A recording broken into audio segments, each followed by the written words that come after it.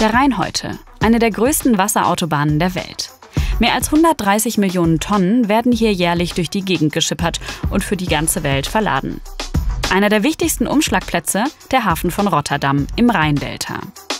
Über den Rhein werden die Rohstoffe auch an große Industriebetriebe geliefert. Stahlwerke, Erdölraffinerien und Chemiewerke. Rohstoffe wie Kohle, Erdöl, Eisenerz und auch Holz. Riesentransporte waren auf dem Rhein aber schon vor 250 Jahren unterwegs. Was war da los? Flüsse waren schon früher einer der wichtigsten Transportwege. Spannenderweise war es gerade der Bedarf an Holz, der aus dem Rhein schon früh einen international gefragten Güterweg machte. Warum? Besonders viel Holz gab es im Schwarzwald. Die waldreiche Region liegt nah am Oberrhein.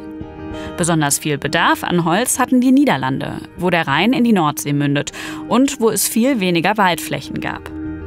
Aber wie kamen die Tannen- und Eichenstämme aus dem Schwarzwald zum Rhein und dann in die Niederlande?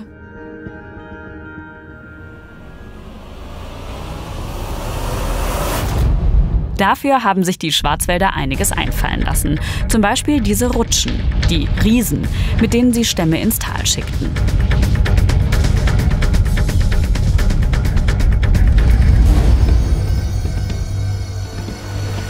Das war aber nicht alles. Ihre eindrucksvollste Erfindung waren Riesenflöße, gebaut aus stabilen Stämmen, die mit Haselnusszweigen, die vorher durch Hitze biegsam gemacht worden sind, zusammengeschnürt wurden.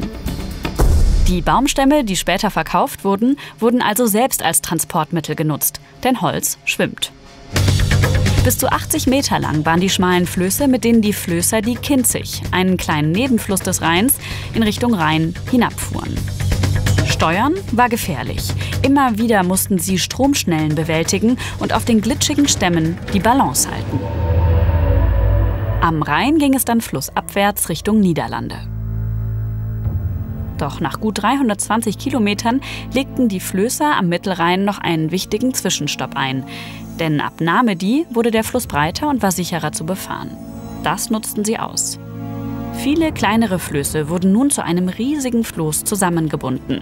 Mehr als 300 Meter lang und 60 Meter breit. So groß wie drei Fußballfelder. Diese Riesenflöße hießen Holländerflöße und waren tausende Tonnen schwer. Es war schwierig und auch gefährlich, die Holländerflöße durch enge Flusskurven zu lenken. Flößer haben oft zusätzlich Anker geworfen, um abzubremsen, um nicht die Ufer zu rammen. Aber warum fuhren sie nicht einfach mit vielen kleinen Flößen rheinabwärts? Ein Grund, um Zoll zu sparen. Zwischen Mainz und der niederländischen Grenze gab es nämlich im 18. Jahrhundert mehr als 20 Zollstationen. Das sah dann praktisch so aus, die Zöllner kamen mit dem Boot aufs Floß, fuhren eine Strecke mit, unterwegs wurde hart gefeilscht und dann wurde bezahlt. Mit anderen Worten ließen die sich bestechen, die Zöllner. Und es war sehr viel günstiger und billiger, die einmal richtig zu bestechen, anstatt 20 Mal sozusagen. Und das erklärt, warum man auch diese riesigen Flöße gebaut hat. Diese riesigen Flöße waren schwimmende Dörfer mit Hütten und Küchen. Die Mannschaft war groß, oft 500 Personen. Und die mussten etwas essen. Fleisch zum Beispiel nimmt man lebend mit als Schlachtvieh, weil das für die Haltbarkeit das Beste war. Und jeden Tag wird mindestens ein Ochse geschlachtet. Das Kurioseste, 20.000 Liter Bier wurden für eine solche Floßfahrt angeschafft, äh, weil jeder Floßknecht in der Regel Anspruch auf 5 Liter Bier pro Tag hatte. Jahrhundertelang war der Rhein also einer der wichtigsten Transportwege für Holz. Aber heute ist diese umweltfreundliche Transportweise schwer denkbar. Tausende Frachtschiffe sind rund um die Uhr jährlich im Einsatz, um den Rohstoffhunger der Industrie zu stillen. Bei dem Verkehr wären Floßfahrten ein echtes Himmelfahrtskommando. Akute Kollisionsgefahr. Außerdem fließt der Rhein heute schneller als damals. Warum? Das seht ihr hier.